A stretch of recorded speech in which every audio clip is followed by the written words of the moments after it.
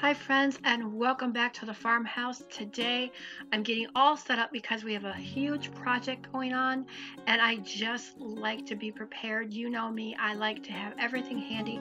We're going to have some food and some drinks and a hand washing station.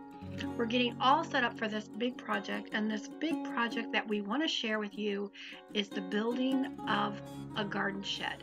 My husband calls it the she shed and that is so exciting. This project kind of snowballed as it does for us all the time. It started out being a replica of a 6 by 8 double seater brick outhouse. As you know, our house is an 1860s farmhouse, and of course, it would have had an outhouse. There were 11 children at this home in the 1860s, and so a double seater was probably what they had. I wanted this space, which is six foot by eight foot, for a garden shed because I keep my tools all the way across our yard, so over 250 feet to the barn and down into the lean to.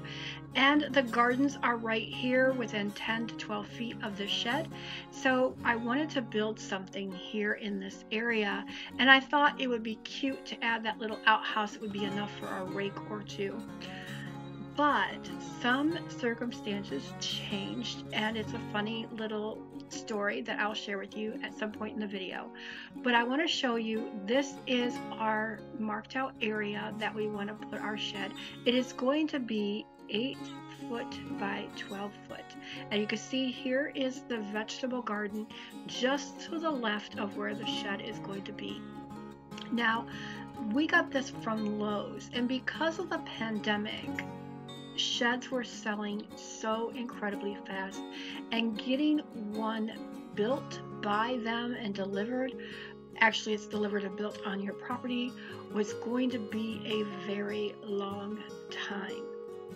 So they were so back ordered. So we decided to take it on ourselves to build it ourselves so it's going to be a huge project. What I was just showing you is that we're getting ready to level the ground. And here at this area, we're about four inches high. And so it's about halfway. So at about the four foot mark, um, we have to level it down.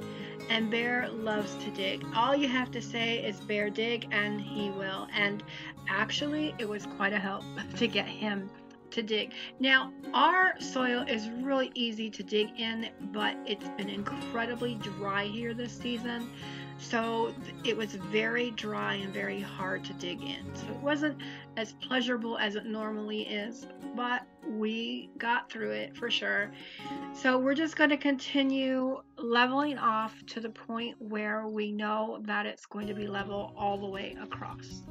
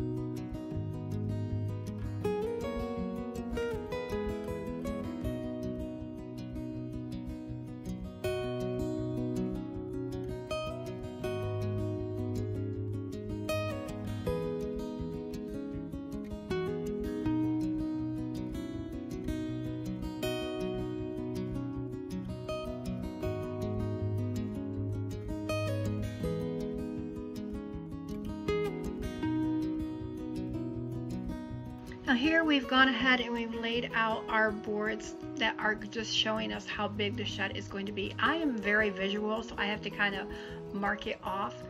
But we're getting ready to start some big process and the shed has arrived. It comes in this packaging and it's crazy how well they pack it in there. And you can just see here in the photos that were it's just crazy packed in there. And so it looks deceiving coming in such a small bundle, but there it is. It is an 8 by 12 shed. Now this is the Stratford Saltbox from Lowe's, so I will link that down below.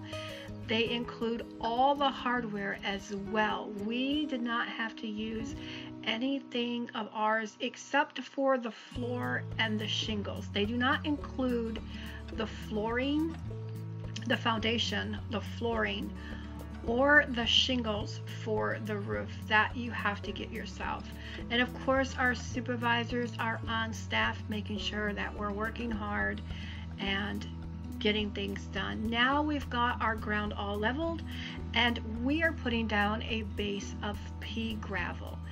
We felt that that would be a great barrier and it would help our shed set nice and level and be very strong for the bottom. So we went ahead and did that.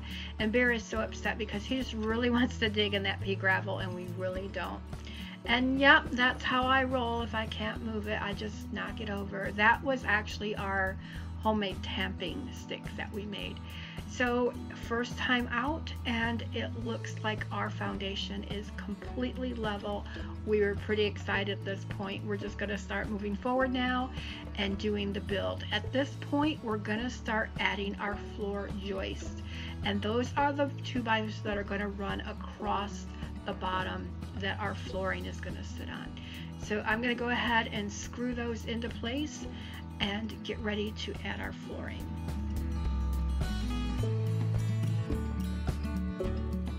Once that is done, doing this cross measuring really helps you to know if you're squared up on your project and it's nice and straight on all sides. That's a really neat trick. Now the floor is going down and we chose this heavy duty OSB because it's going to be outside. The next step we wanted to do was to lay out all the pieces where they go. We sorted everything. We have trim boards and we have building boards so that everything is separated and that just makes it go so much faster because we've already moved on to laying out the wall panels. Now we're going to put the walls together on the ground and then we will raise them up. Now, even if you've never built anything before, they send you a nice, thick instruction manual. It has a lot of pages, as you can see right here, and step by step, they guide you through it. And even though we have built things before, there is sometimes a little uh, confusion. And right here, we were trying to decide um, what to do next. It wasn't really clear in the instructions. So sometimes you just have to read those instructions over a couple more times to make it clear. And once we figured it out, it went smoothly.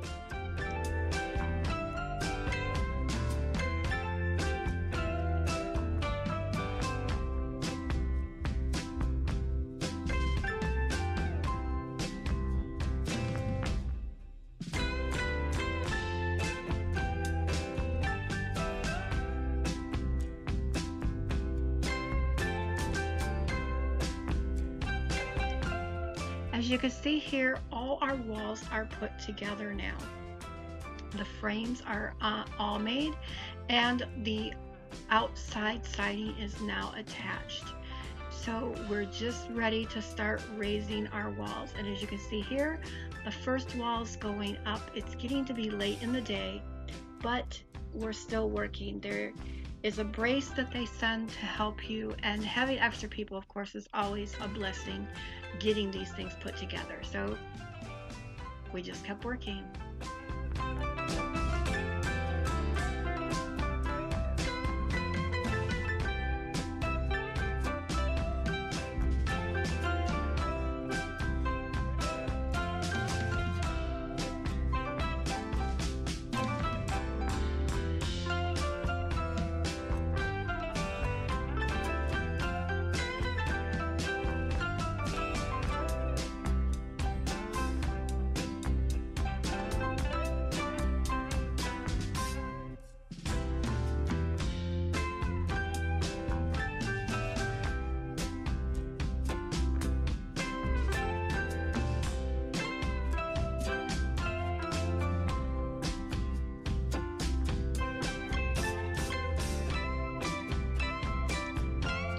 So here we are at the end of day number one. It went really well. We did have some trial and errors, but the day ended and this was where we ended for that day. You can see the sun is setting and pretty successful. We got up bright and early the next morning. You can see how bright the sun is and it was really hot when we were building the shed. It is not typical to be in the high 90s in Michigan, but it was but we pedaled through trying to get a bulk of our work done before it got too hot. At this point guys i'm getting super excited. It's really coming together. So all four sides are up and we're just doing a little fine tuning and the next step is actually before the roof goes on they have you build the shelves and the workbenches. Now this particular unit comes with three shelves well actually two shelves a workbench and a pegboard. Now before we go any further i have a diy project i wanted to do just because i wanted to add some storage to this pegboard and i wanted it to be more permanent and i know i could have used the pegboard hooks but those sometimes fall off when i'm using them so i'm using these 8 inch ties from Walmart and I'm going to make my storage a little bit more permanent. I use these baskets from Dollar Tree and I had the oval ones. That's what they had in stock when I went. And I'm just going to thread these zip ties through the pegboard itself and then I'm going to hook them onto the basket and I'm going to go ahead and tie them off. That's going to allow for some sturdier storage. I wanted to put some things in baskets and I know that when I use the peg hooks, I have one in my craft room, sometimes I'll knock the peg hook off and the basket spills. So I just thought this would be a little more permanent and I can totally take the screw out and change it later. It's just a little more difficult because there will be a shelf right above this pegboard unit. So I went ahead and did this on both sides. I did four on the right side and two on the left side. And I thought that would be great storage and it did turn out really well. I'm just going to clip off the ends and here is the end result. So I've got good heavy duty storage for some of the things that I would like to store in my workbench area.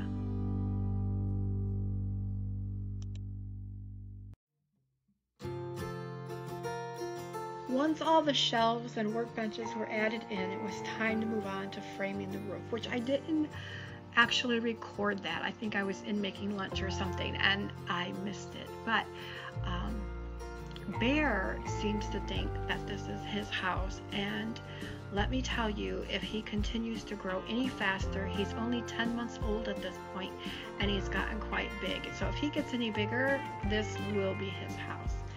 But the roof is going really quick and talk about painting yourself into a corner.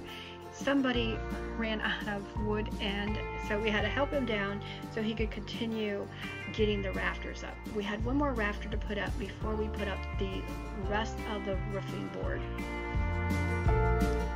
Now the doors are going up. This is going so fast and I just love this shed. I was really disappointed at first that I wasn't going to get my little 6x8 outhouse, but this shed is just turning out so gorgeous. I'm so in love.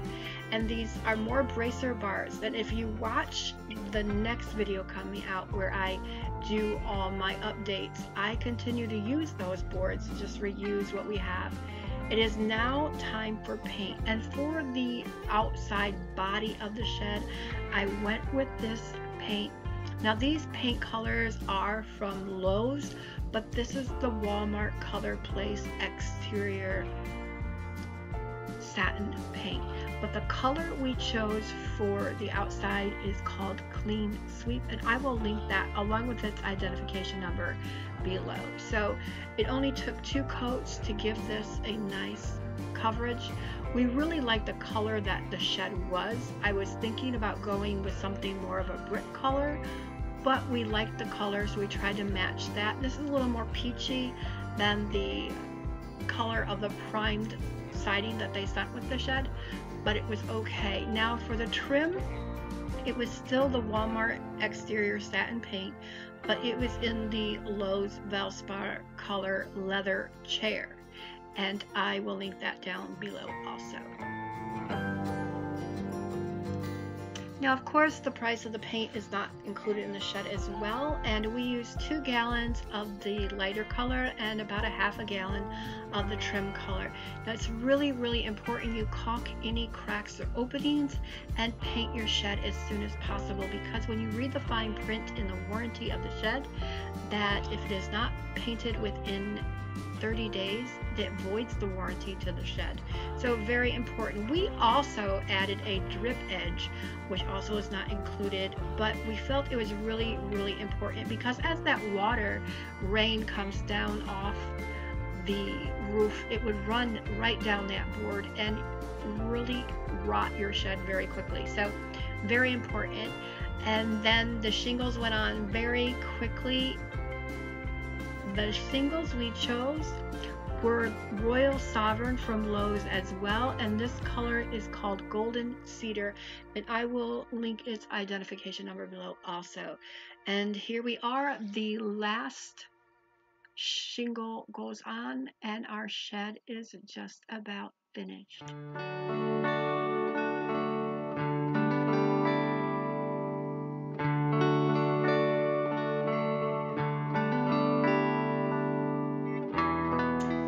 Are, friends. We're all done with the build, and I could not be happy. Just look how cute and quaint that shed looks, and the placement is just about perfect.